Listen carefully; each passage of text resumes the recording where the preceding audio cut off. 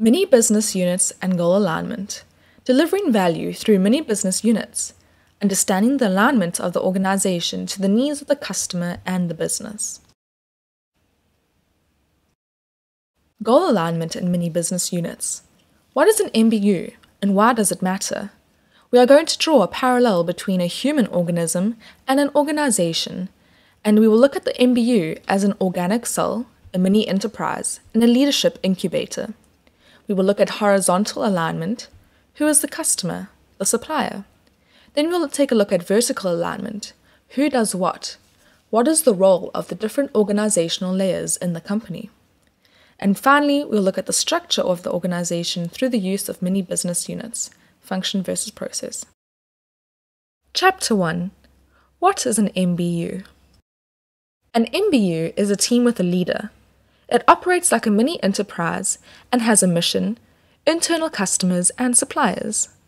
The MBU operates processes and makes decisions. It tracks performance, risk, quality, speed, cost, and people development and engagement. The performance is aligned with the company objectives. The team develops people, solves problems, and improves processes. The diagram below shows an example of operational MBUs linked together to continually deliver the right product to the customer on time and at the right price. In this segment, we are going to compare an organization to the human organism in order to better understand an MBU. The human organism needs a purpose. Without one, a person cannot be fulfilled nor flourish. An example would be serving others, achievements, or bettering oneself. Organisms are made up of various systems that enable the organism to fulfill its purpose. Examples of systems would be digestive, respiratory, or circulatory. The organization is also designed with a purpose. An example of the organization's purpose could be customer satisfaction or stakeholder satisfaction, and stakeholder satisfaction could mean shareholders or employees. The organization needs systems and processes. The diagram is a representation of the key systems and processes in the organization. The diagram is used in long range planning and is part of understanding the context of the organization. An example of systems and processes would be quality management systems, product realization, and order reconciliation. Going back to the organism, Organs are part of systems that are self contained and have specific vital functions. Some organs also support different systems, such as the liver. Examples of organs would be stomach, lungs, and heart. There are different functions in the organization that support different systems, such as manufacturing, procurement, and finance. An organ is made up of large quantities of cells that are the organism's smallest structural and functional units, such as the heartbeat cell. The MBU is to the organization what a cell is to the organism, which is the smallest structural and functional unit. Examples of mini business units would be maintenance, assembling, and dispatch. Here we have, side by side, diagrams of a human cell and an MBU. As you can see, the human cell is far more complex than an MBU, but they share characteristics. For example, the cell has a membrane that protects it from outside aggression. Similarly, the MBU has to protect itself from risk. We have to manage risk at MBU level. Just a side question to think about. What would be to the MBU the DNA to a cell? Within the MBU, environment, risk, material, manpower, and machines are managed and brought together by method and measurement. Those familiar with root cause analysis will recognize the six traditional elements of the fishbone diagram milieu, or Mother Nature, material, manpower, machine, measurement, and method. Let's do an exercise. Divide your team into groups of three or four and take 10 minutes to brainstorm.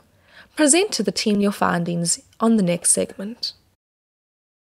Note that the methods applied by the team are standards that describe how to operate the MBU. For example, you would use standard operating procedure, work instruction, and one point lesson, among others. Every MBU has a mission that is a specific output to an internal or external customer. There are several inputs to fulfill its mission.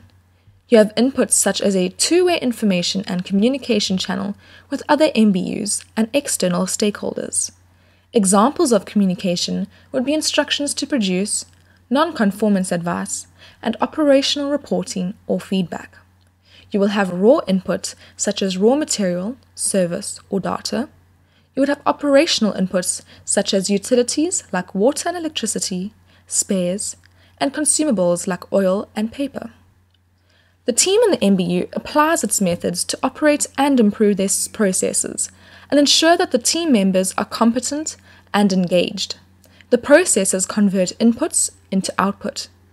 Along with output, you will have waste, such as heat, byproduct, effluent waste, or rejects. Your output could be the semi finished or finished product, service, or information to other MBUs or to the external customer. Let's look at the MBU as a healthy mini enterprise that generates a profit. Inputs and output are classified into cost and income items. Information and communication are cost items. If you're not convinced, look at the cost of an ERP system and management salaries. Raw and operational inputs are also cost items. The MBU itself is also a cost item for example, you have salaries, buildings, cost of managing risk, training, and maintenance. Waste can be considered both a cost and income item, considering that you can reuse heat, recycle or reuse waste, or sell byproducts. But it's always more cost effective to minimize waste in the process. And finally, the output of the MBU is an income. It's a great achievement for an organization when MBU teams report their monthly profit and loss statements. It is the fruit of years of refining smart systems and processes and nurturing an empowered workforce. How can the MBU be an empowerment nursery, a leadership incubator? Each MBU carries the DNA of the entire organization. The DNA is the values, approach to process improvement, people development, customer service, etc. In other words, the culture of the organization. Team members in the MBU are exposed to the same practice routines as that of the section, department, and organization. Through this, management identifies leadership potential and develops team members into future leaders through the daily practice of management routines. The MBU is a leadership incubator. Chapter 2 Horizontal Alignment What is the mission and purpose of a business? To satisfy the customer is the mission and purpose of every business. All key processes contribute to creating value for the customer. But what is this value and how do we measure it? First, the product or service meets the customer requirements. Second, it is readily available when they want it. Third, it is correctly priced. For the organization, it means that they manage the quality of their product or service, the speed of the processes, for example, performance, throughput, output, and lead times, and its total cost. The organization does not operate in a vacuum. It is dependent on their suppliers' performance. The suppliers also need to deliver their product or service to specification on time at the right price. For example, Poor quality raw material will affect the efficiency of internal processes, resulting in bad quality, late deliveries, and an increase in production costs. That's why the organization has to manage its suppliers' relationship. Overall, the performance of the value chain that links the customer, company, and supplier is dependent in the alignment of quality, speed, and cost. This is horizontal alignment. What is the meaning of horizontal alignment within the organization? Everyone is a customer for somebody or a supplier to somebody. Each operational MBU is linked to its internal supplier and customer. Each internal customer expects its supplier to deliver quality of product or service on time. The performance of the value chain linking the end customer to the supplier is as strong as the weakest MBU. Problems arise between MBUs due to the failure of the supplier to deliver based on mutual expectations. Therefore, the processes are misaligned. This is called interface noise. Interestingly, the symptom is miscommunication between functions or MBUs and can be quite noisy. Service level agreements drawn upfront between suppliers and customers assist in smoothing their relationship and improve performance. Horizontal alignment is essential to continually satisfy customer expectation.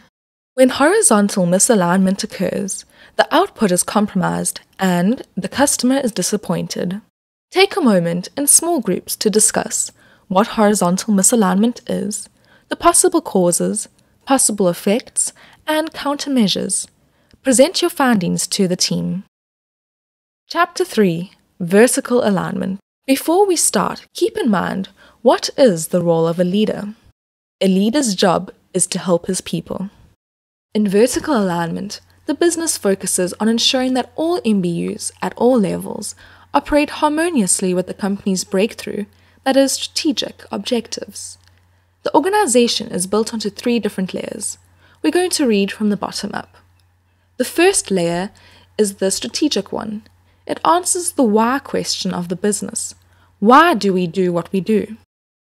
The responsibility of the top management team is to provide direction, define structure, sequence activities, allocate resources, and build capacity.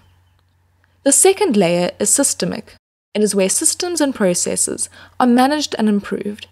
That layer answers how do we do what we do. Management and professionals actively improve and sustain the bips and bops of the business, best improvement practices, and best operating practices. The teams in that layer ensure their operational teams are supported. They also ensure good planning and compliance to systems. As we've seen previously in the course, management's job is to improve the system and support its people. We then have the situational or operational layer, where the hands reach out to the customer and make the product. This is where money is made and value is created. These people reduce risk practically. Let's summarize the layers. The strategic layer answers the question why do we do what we do? The systemic layer answers how do we do what we do? And the situational layer answers, what do we do? Let's take a look at the MBU teams across the different levels. Examples of level 1 teams would be a production team weaving carpets, journalists in a newsroom producing news feed, or people interacting with customers in a call center. The MBU ones at level 1 meet daily to review the previous day's performance, find root cause and solutions to the previous and current day's problems, and plan their current day. The team leaders of that section will meet with their manager daily in the MBU2 to ensure that level 1 teams get the support required to operate efficiently. The level 2 team is usually cross functional as representation of support MBUs is present, enabling cross functional issues to be addressed immediately. The level 2 team plans for the week. The support MBUs are, for example, finance and HR. They have both a situational and a systemic role. The Level 3 team plans for the week and makes sure business priorities are being carried out. Managers attend BU3 meetings not less than once a week to evaluate the business's performance, prioritize activities, and drive improvement projects. BU4 is made up of the top management team. They meet not less than monthly. The business performance is reviewed as well as progress toward achieving breakthrough objectives. The Level 4 team plans for the month and the year. As you might have noticed, we leave out the mini parts in MBU for Level 3 and 4 MBUs. This is because there's only one business unit at these levels. On this segment, we have turned the traditional organizational pyramid on its head because it is the leader's job to support their teams. All the MBUs are physically linked, where the leader of one MBU is the member of the next level's MBU. The team leader of the level 1 MBU will be a member of the level 2 MBU, and the manager, who is the leader of MBU 2, will be a member of the BU 3. And finally, the senior manager of the BU 3 team will be a member of the BU 4 team. The reason why we have this link is to ensure effective and quick communication, which provides for good escalation and feedback. Here we have vertical alignment. Every MBU performing a specific role to achieve the overall business objectives. This is vertical alignment. When vertical misalignment occurs, the output is compromised and the customer is disappointed. Take a moment in small groups to discuss what vertical misalignment is, the possible causes, possible effects, and countermeasures. Present your findings to the team. This is a list that helps you distinguish the difference between core functions, MBU1s, and support functions, MBUS. But this list can be debated. If you don't have an MBU structure in your organization, take some time in small groups to define what the MBU structure could look like. Brainstorm and present your ideas to the team. With the help of a facilitator, draw the structure on a large board. Chapter 4 Structure the organization with MBUs. In this segment, we are going to bring together horizontal and vertical alignment. At different organizational layers, there are different processes. Their output contributes to customer satisfaction. Examples of operational processes would be order fulfillment and new product development. Examples of systemic processes would be internal auditing and process improvement. Examples of strategic processes would be long range planning. Horizontal alignment has a customer centered view. The different functions take responsibility for specific, operational, and improvement objectives aligned with the overall business objectives. This is vertical alignment. At the crossroad of the functions and processes are the MBUs that take operational and improvement responsibility for process segments. They listen to the voice of the customer, the processes, and the business. They also develop and empower their employees. In the vertical alignment, the functions need to be effective, which is doing the right thing at all levels. In the horizontal alignment, the processes need to be efficient, doing things right to the customer's satisfaction. This is overall alignment. At the end of a long presentation, here are some points to take home. MBUs are to the organization what the cells are to the human organism. They deliver value and reduce risk. Horizontal alignment is achieved when the processes and systems efficiently deliver improved quality, speed, and cost from the internal suppliers to internal customers, and ultimately to the end customer satisfaction. Vertical alignment is achieved when all MBUs are improving their people and processes towards effectively achieving the company objectives and long range vision.